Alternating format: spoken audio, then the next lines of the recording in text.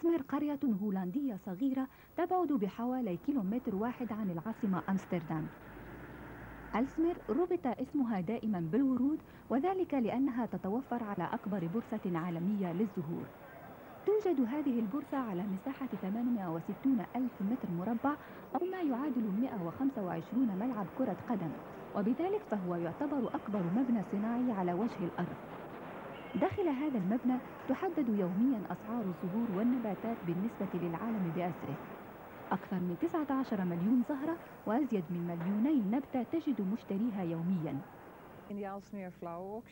في ألسمير في هذا المبنى الضخم تباع يوميا ما يزيد عن 22 مليون زهرة مقطوفة ونبتة يأتي بها العديد من المنتجين من كل أنحاء العالم والتي سيتم بعد ذلك تصديرها من طرف التجار إلى العالم بأسره. وجميع الدول تستورد زهورها من ألسمير فهي أكبر بورصة للزهور في العالم وهذا باعتبار كتاب جينيز للأرقام القياسية.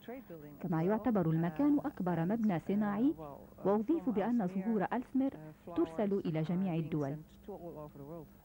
المشهد يذكر ببورصة وول ستريت قاعة يتوسطها لوح دائري مزين بأرقام ودلالات غير مفهومة إلا من طرف هؤلاء المشترين المهووسين الذين لا تترك أعينهم هذه السبورة الإلكترونية المعلقة أمامهم.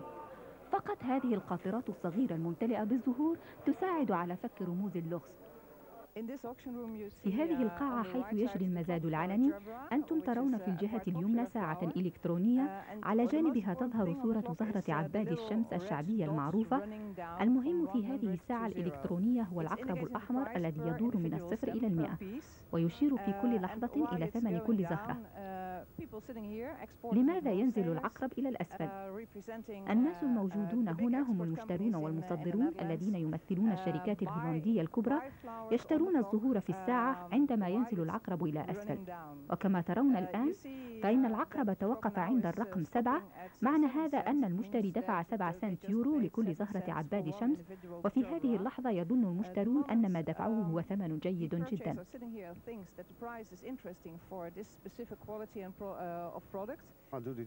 أقوم بهذا العمل عما يزيد عن 25 سنة. أبدأ في الشغل عادة كل يوم على الساعة الخامسة صباحا. آتي إلى هذا المزاد العلني أشتري الزهور.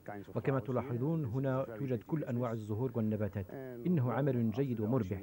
فبعد إنهاء عملية المزاد أضع الزهور في مكان خاص لكي أبيعها بعد ذلك في روتردام. قبل المزاد العلني لابد أن تتعرف عن ما هو موجود في البورصة.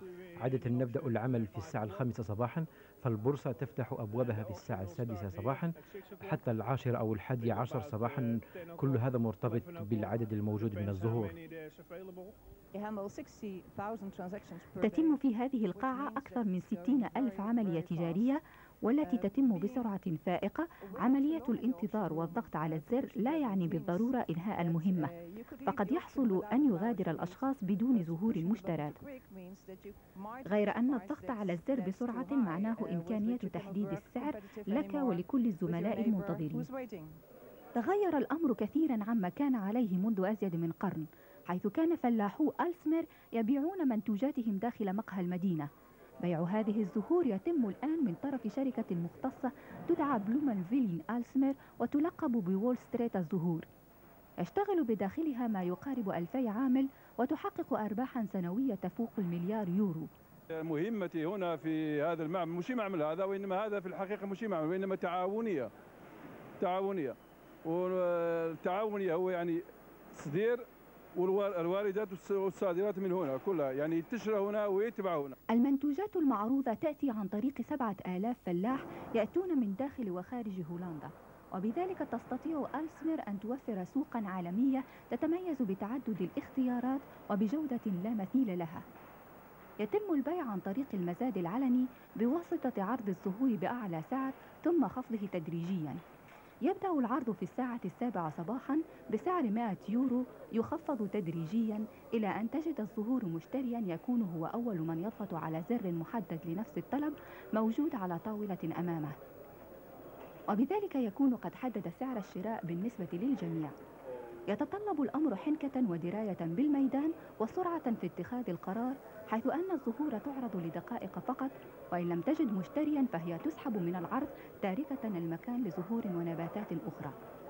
يحدث الأمر في خمس قاعات متماثلة ممتلئة عن آخرها. After the auctions have uh, taken place, uh, بعد الانتهاء من عملية المزاد العلني التي تجري بالقاعات الخمس يتم إرسال الزهور إلى المصدرين والتجار ويتم تصديرها بعد ذلك إلى كل الدول. وطريقتنا في التوزيع تصل إلى أبعد قرية في العالم. وما نفعله أنه بعد توصلنا بالزهور نضعها في علب نسخيها ونضع فوقها المعلومات uh, الخاصة بالمنتوج مثلا.